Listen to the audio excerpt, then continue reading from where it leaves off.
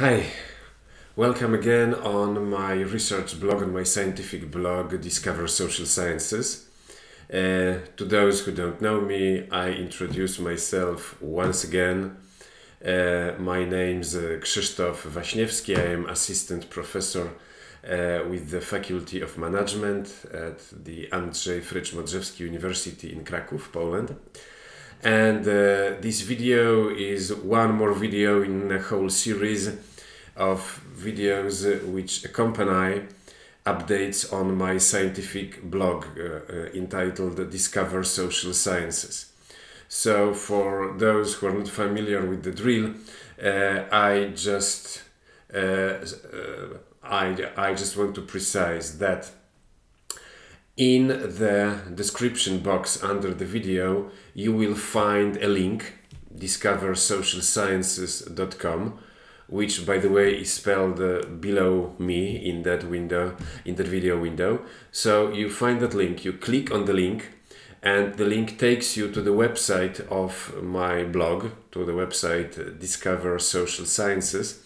And there you will find an, a written update with a lot of more information than what you can find in this video. That written update will have the same title as this video. Okay, so that's the that's the rule of coupling between my videos and my written updates.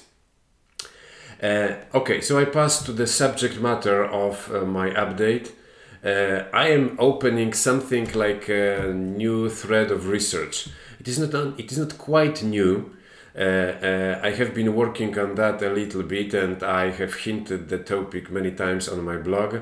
Anyway, it is about cities and urbanization and the role of cities in our civilization. Uh, why am I doing it? Why am I interested in it? Uh, I think that the most immediate reason is uh, precisely the COVID 19 crisis and the economic consequences of lockdowns. What what we can observe with that pandemic is that the places that are being hit the hardest are densely populated cities. Uh, and by all means, they are like the the epicenters, the local epicenters of uh, uh, that epidemic outbreak. And in the same time, cities are the most adversely hit uh, by the lockdowns, by the social distancing. I remember that strange feeling, those strange thoughts that I had uh, when I was cycling through my hometown, uh, through Krakow, Poland, right after the formal introduction of the lockdowns. I think it was the 16th of March, something like that the city was uh, like post apocalyptically empty. People really took it seriously. Uh, I, I mean, I took social distances, uh, social distancing really seriously. And I had that strange thought, that very strange question in my mind. How many human footsteps do we need for the city to work properly? Hmm? How much human movement do we need for the city to work economically and socio-economically as it is supposed to work. Okay, so here are my loose thoughts, and now I come to something a little bit more scientific, so to my working hypothesis, which will make like the thread of my research. So here it comes technological change that has been going on in our civilization, at least since 1960, is oriented on increasing urbanization of humanity, and more specifically on effective, rigid partition between urban areas and rural ones. Uh, first of all, one, uh, why 1960? For a very simple reason. Uh, when I try to find some statistics about cities, about macroeconomics, about the state of society. Uh, usually, those statistics start not earlier than in 1960. For example, if I use a, a very good source of information, which is the uh, uh, the data website of the World Bank, it all starts in 1960. sometimes even later. But 1960 seems to be like the uh, like the moment of going out of the gate with a serious collection of uh, statistical quantitative data about societies, about countries, about economies. Uh, so why this hypothesis? L let me show you a few facts. Some of them are known or intuitively known, like a, uh, a sort of a common knowledge. Some are, others are not quite as well known. So first of all, I open up gently with the coefficient of urbanization. The graph that you can see sort of behind me and uh, on my bottom on, on my bottom right uh, is the graph of uh, urban population represented as the percentage of total population of our planet. So in 1960 we were starting sort of modestly uh, around 33% of mankind living in cities. And in 2018, we were above 55%. So, right now, more than half of humanity lives in urban structures. And now uh, there is like um, commonly encountered narrative both in in the media and in even in serious social sciences that due to that urbanization uh, cities are going to take more and more land to the detriment of agricultural land and to the detriment of wildlife. So, as we live more and more in cities, cities will sort of invade on the grounds, on the land that is needed for other purposes, for the purpose of feeding us or for the purpose of maintaining a healthy ecosystem, a healthy wild ecosystem around us. Well, it is not exactly the case. I did some research, and as uh, strange as it could seem, uh, the total area of urban land on the planet seems to have been constant at least since 1990, so over the last 30 years. I know it sounds uh, completely counterintuitive. Whoever has traveled a little bit uh, through the world, uh, you could see those huge cities, especially in the developing countries and in the emerging markets. You could see those huge cities which sort of sprawl to the sides uh, which grow in an apparently uncontrolled way. Yes, we can observe that locally, but the data uh, published by the World Bank and apparently based on the data supplied by the Columbia University indicates that the total surface of urban land on the planet has been constant and has been a little bit more than 3,600,000 square kilometers. Uh, to support that, uh, I could say that whilst uh, some cities, some urban areas are growing widely, other tend to disappear. For example, if you take the former Soviet Union, if you uh, have a closer look at Siberia, hmm, you have many towns and cities which, since the collapse of the Soviet Union, have straightforwardly disappeared. You have uh, urban settlements of millions of people who have just vanished due to, to, due to economic factors. Uh, so, whilst there is some research which indicates that uh, the urban, uh, that the uncontrolled urban expansion is a real threat to humanity, it seems that in the recent history there is no evidence to, to, to support this claim. Cities seem to have a constant area, so at least a constant, uh, uh, a constant metric surface over decades. We don't know why. So we have that phenomenon, that social phenomenon, which I am trying to present on that compound uh, indexed graph. On that graph, I am reporting uh, the orange bars, the orange, uh, the orange vertical bars on the graph reproduce essentially the pre the previous graph I was showing. So they represent the uh, the coefficient of urbanization in the uh, on the planet and the blue like the blue block the blue continuous uh, enlarging block is the density of urban population. So people per one square kilometer in urban areas in cities across the planet. And in order to make those two variables comparable I made them indexed on the values of the year 2000 by the way for those of you who want to learn a little bit about uh, techniques of quantitative analysis, this is a useful one. When you have two variables, two or more variables uh, that you want to observe across time or over time, and those variables are measured on very different scales of magnitude, uh, you can use that trick in each time series. So in the time series of each separate variable, you take one year in the time series as one, hmm, as denominator, and you divide each other value in the time series by that constant denominator. It is called, uh, the formal name of this method is, I believe, uh, the constant base index or an index with a constant base. And here you can see that uh, essentially density of population in cities has been growing faster than the urbanization of humanity. We have two distinct processes which seem to be connected, but the question is how are they connected?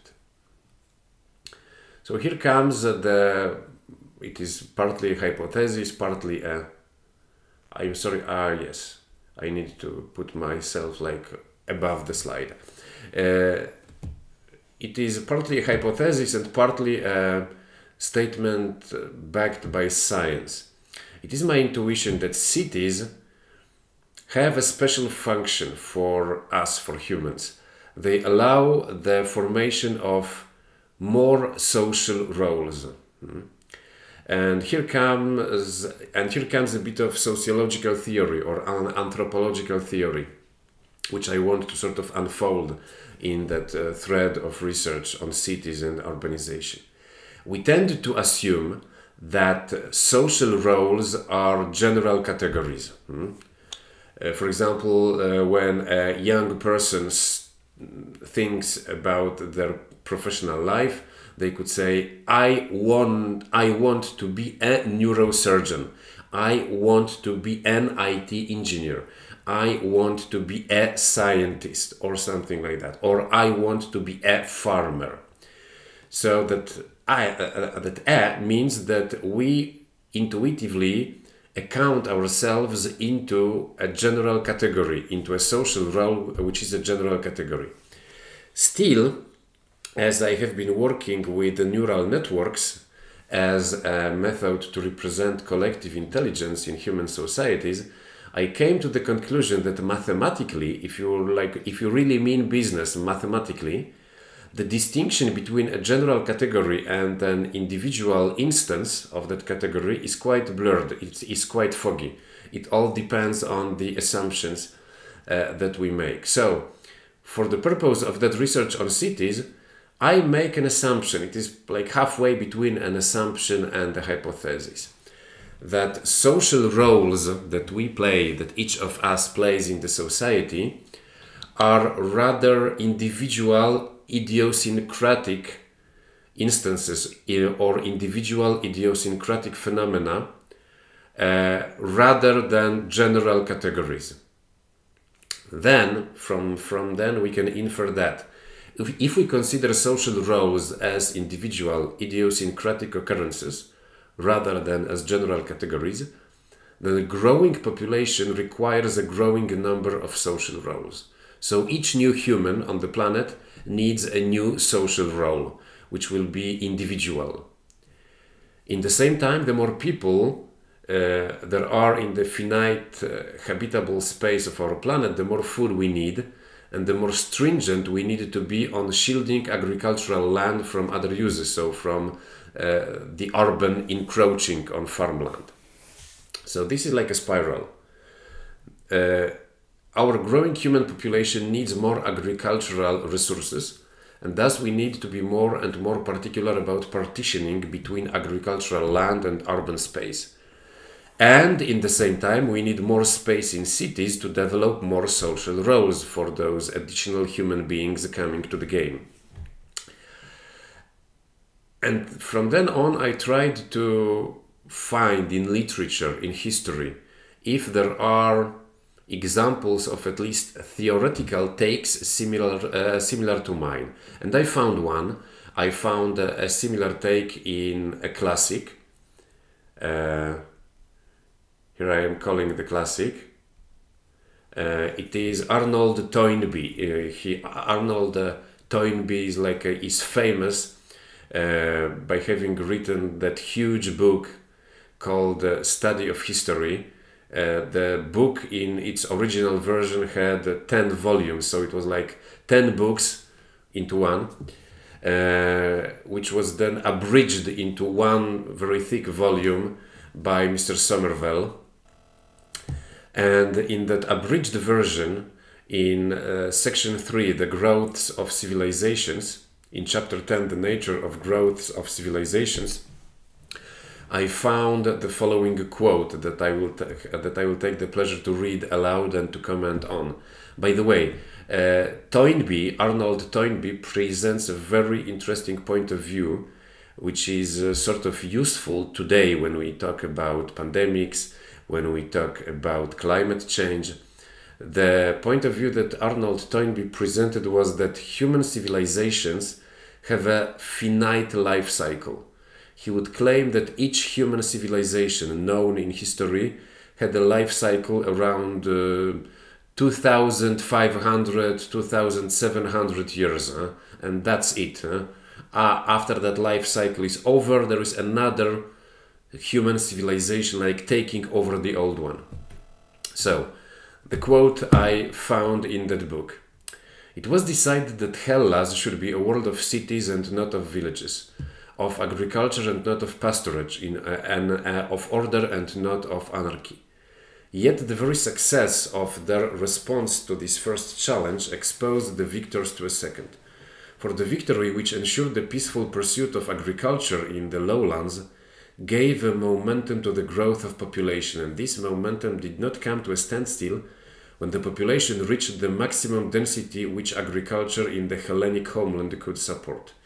Now, the context historically, what we know as the Hellenic civilization uh, was the result of uh, invasion, uh, which uh, came from minor from Asia Minor. So people known today as Achaeans and Dorians invaded the Greek peninsula and uh, took over an already incumbent, more ancient civilization, the Minoan one. And at a certain when they took over the Minoan civilization, they found themselves in a tight spot. By the way, similar to the tight spot that Germanic tribes face, uh, faced after the fall of the ancient Roman uh, of the of the Western ancient Roman Empire, which was simply the scarcity of food uh, when you destroy an established civilization with an established structure, you suddenly discover that you have uh, uh, more warriors than you, than, than you can feed, and you need to find a food base. Huh? Uh, so Toyn, uh, Toynbee de develops or developed, because it was in the past, uh, that point of view, that hypothesis that cities were a solution. Hmm? And uh, that so that our urbanization is a solution to a recurrent challenge in human history. Uh, sharing fertile lowlands between many competing social groups. Now, the broader theoretical context. If you look at the map of the world, you will find out that big cities have existed and still exist mostly in the lowlands it is or in elevated plateaus, but there are virtually no big cities in the mountains. In the mountains, you can find big conglomerations or big agglomerations of villages, but no cities. That's an important indicator. City is a social invention, is a social contrivance adapted especially to lowlands, to plains. And uh, uh, secondly, imagine that in a, in a lowland area, you have many competing social groups, like many tribes, many ethnic groups. They can constantly fight for the territory, or they can create a more subtle structure. They can create cities, and cities can be like those hubs of exchange, and then the rivalry between those uh, competing social groups can be rivalry for influence in and over the cities rather than straightforward war, rather than constant battle and combat. And I think that overall, making cities and uh, rivaling for influence in those cities is more efficient uh, a way of being, of being socially, of being as a group, than uh, constant wars against other social groups. Cities are simply more efficient in terms of the use of available resources. And in the same time, this social contrivance, so the creation of cities, has some limits. There are limits to the uh, to the capacity of the system created with cities. And here comes another point of view from another like favorite author of mine, another favorite reading of mine. Uh, the reading is the book uh, by Fernand Braudel, the French historian. The book is entitled Civilization and Capitalism. And uh, Braudel puts forth an interesting thesis about cities that cities are essentially demographic anomalies like singularities. And once such a singularity emerges in a given place, it gives rise, first of all, to written culture and to the development of technology. Uh, and he puts it in that nice quote I couldn't uh, resist putting in that slide. Towns are like electric transformers. They increase tension, accelerate the rhythm of exchange, and constantly recharge human life. Interesting. Uh, I feel it very much like like that. By the way, I am a city boy. I grew up in a, in the city. I like the countryside, uh, but in like a cappuccino way, in moderate dosage. So my provisional conclusion, the conclusion that I sort of put an end to this particular update on my blog is that we, the human species, choose to be more and more crammed in cities because such a demographic anomaly allows us to transmute growing population into a growing diversity of skills.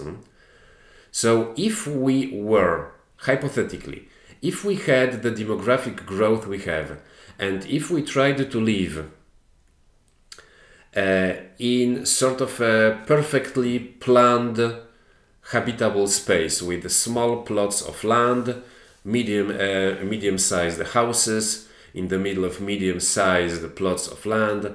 Every house or every household has a little bit of farming, a little a little bit of food source with little industry, uh, just some roads. I heard a serious social scientist developing such a vision. The question is why there isn't any, why there isn't any such social structures in the world. So I think that as a species, we we develop a collectively intelligent strategy to develop a growing diversity of skills in order to develop new technologies. And cities are a good way to developing the diversity of skills. Okay, that would be all in that video. So once again, a reminder, if you go into the description box below that video, you will find the link discoversocialsciences.com.